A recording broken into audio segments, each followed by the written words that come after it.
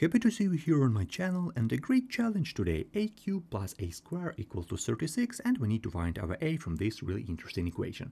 First of all let's bring this 36 from our right hand side to left hand side. Let's do this. So what do we have right here? We have a a cube, we have plus a square minus 36 which is equal to which is equal to 0 so we just bring this 36 from our right hand side to our left hand side. What are we going to do next? Let's write this 36 as 27 plus 9 let's do this. So what do we have right here? We have a cube plus a square minus and we write this 36 as 27 okay? 27 plus 9. Okay, we can do this, nothing changed for us, but this is really great, really great trick right here, so equal to 0. So we just write this 36 as 27 plus 9. What are we going to do next? We, we should know that 27 equal to 3 cube and 9 equal to 3 square. Okay, so let's change this expression by uh, the 3 cube plus 3 square.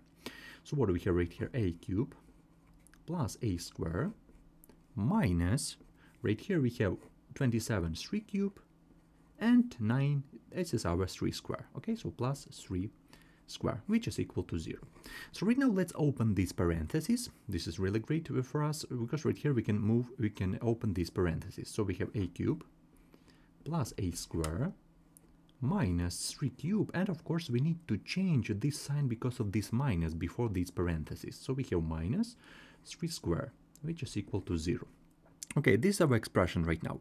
And let's group, for example, right here we have a cube, and right here we have a cube. Uh, not like a cube, we have a value to the third power, okay? And right here we have a square, and right here we have the same value mm, to the second power. Okay, so let's group this a cube and 3 cube, okay? And let's group this a square with this 3 square. So let's just group these, uh, these expressions, okay? So what do we have right here? We have a cube minus 3 cube, okay, minus 3 cube, and plus a square minus 3 square. Okay, we just group it, both elements right here with the third power right here and with the second power right here. Of course, we can easily take this uh, expression inside parentheses. This is really great move for us because right here we can easily do like that and right here we can easily do this like that. And right now if you look closely, a cube minus 3 cube, this is a difference of cubes. Let's remember our formula right here. So first of all, our formula with difference of cubes. So what do we have right here? a cube minus b cube. This is our this is our cubic formula. So equal to what do we have right here? a minus b, yeah, a minus b, and the second parenthesis we have a square, a square plus ab, and plus b square. This is our first formula. We really need this right now. This is our a cube minus b cube, and with the same logic, a square minus b square, we have difference of squares. Okay, a square minus b square, which is equal to, if this is all known formula, a minus b times a plus b. Okay, we really need these formulas right here. Okay, so right here, this is our first formula, and this is our, our second formula. Let's apply this cubic formula right here, and let's apply this quadratic formula right here in these expressions. Okay, let's do this. So a cube minus 3 cube, let's apply all of these to this expression. So what do we have right here? We have a minus 3, a minus 3, and inside parentheses we have a square plus 3a and plus 9.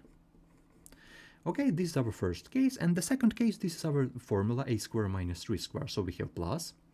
So it was our cubic formula right here, this expression, and we right now we apply this a square minus b square right here, so we have a minus 3 and times a plus 3 okay which is equal to which is equal to 0 right now if you look closely we have a minus 3 right here and we have a minus 3 right here. So we can easily factor this a minus 3. It will be really great mm, move for us. Okay, so right here we have a minus 3.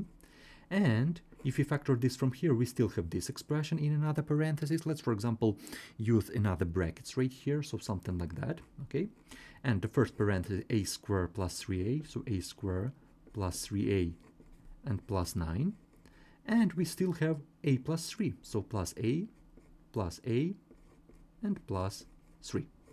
Okay, and this type of brackets equal to 0. Okay, so what do we have right here? We have a minus 3, we still, we still have this a minus 3, let's write it, and right now let's simplify this expression inside uh, this type of brackets. So what do we have right here? We have a square plus 3a plus 9 plus a plus 3, so it doesn't matter with these parentheses, we have a square at first. Second, we have 3a plus a, we have 4a, so plus 4a, and plus 9 plus 3 equal to equal to 12 and of course all are equal to zero. So as you can see, we factor our question. Right here we have a first parenthesis, second parenthesis, so we have a product. So a product equal to zero when first parenthesis equal to zero or second parenthesis equal to zero. For example, let's start with this second parenthesis. So we have a square plus 4a plus 12 equal to zero. Let's solve this. So we have a square plus 4a and plus 12 equal to 0. This is our question. Let's find discriminant, all known discriminant, b square minus 4ac, so b square minus 4ac. Let's plug in all these elements. What do we have right here? b square, we have 4 square, so this is equal to 16 and minus 4 times a equal to 1 right here because we have this coefficient right here 1 and times c equal to 12 okay okay which is equal to 16 minus 48 okay which is equal to which is equal to minus 32 minus 32 and this is not good for us because this is a complex unit. This is a complex root right here because discriminant is negative. It implies that right here we have two complex complex root and let's find this root right here. So two complex roots. Let's find all of this. It was it was our a first but right here we have a second and third. Let's find all these roots. What do we have right here? Minus b. We have minus 4 minus 4 plus minus square root of discriminant square root of minus 32 and all over all over 2. Let's simplify this a little bit. Let's simplify this complex root a little bit. First of all, we can easily rewrite this expression right here, square root of minus 32 as square root of minus 1 times square root of 16 and times square root of 2. Let's do this. So we have it here minus 4 plus minus square root of minus 32 let's write as a product. So let's write this square root of minus 32 as uh, minus 1 right like that times 16 and times 2 let's write this uh, expression like that and all over all over 2 which is equal to Okay, we need to know a all-known formula. If we have a product inside square root, we can easily mm, like split this square root. So square root of minus 1 times square root of 16 and times square root of 2. So what do we have right here? Squ minus 4 plus minus square root of minus 1, which gives us a complex unit, yeah? Times square root of 16 and times square root of 2 and all over. So all of this we divide by, by 2 which is equal to, okay, what do we have right here? Minus 4, yeah, plus minus. Right here we have complex unit. This is our i right here. Square root of 16 equal to equal to 4. So what do we have right here? 4 square root of 2 times i. Okay, so we have 4 square root of 2 times i. And we divide all of these by we divide all of this by 2. We can easily divide a numerator and denominator by 2, so as a result we will have our, our answer in it in terms of complex numbers.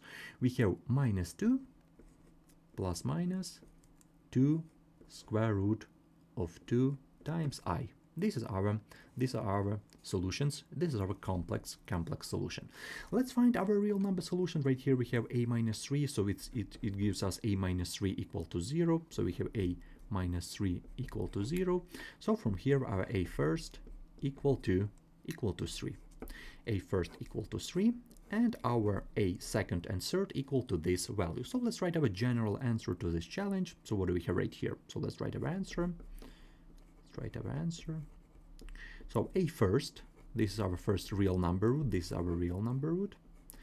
Real number root, which is equal to which is equal to three. Okay. Second, we have complex root. We have complex root right here. So a second equal to right here we have let's go with the plus sign minus 2 plus so we have minus 2 plus 2 square root of 2i and a third third complex root okay so right here we have minus 2 let's go with the minus sign minus 2 minus 2 square root of 2 times i these are our solutions to this challenge. So real number root and complex root. So we fully solve this challenge. So we we have all all root that we really need. First one real number root and the second and third complex root. Let's check this root real quick. So we have a equal to 3 what do we have in the beginning? We have a cube. We have a cube plus a square equal to 36 let's check it real quick. What do we have right here? A cube we have 3 cube plus 3 square equal to 36. Okay, as I told before, this is really great, really great solution because 36 equal to 27 plus 9. We made this substitution before, so this is our answer to this challenge. So this is really great rule. So this is our proof and this is our answers. This my solution may be long, but I hope everyone understand this solution. I try to solve this challenge step by step and uh, like slowly, try to solve this challenge um, completely like in a slow uh, motion right here. So try to solve this challenge slowly and I hope you understand this explanation, but definitely don't feel bad if you got this wrong. If you have any question, write a question down into the comment section. It will be really interesting to read about it and definitely don't feel bad if you got this wrong. Thank you everyone for supporting my channel. Thank you everyone for if you leave a like, write any comment. It helps me a lot. It inspires me a lot to make new content every day and see you in the next videos. Have a great day and take care of yourself.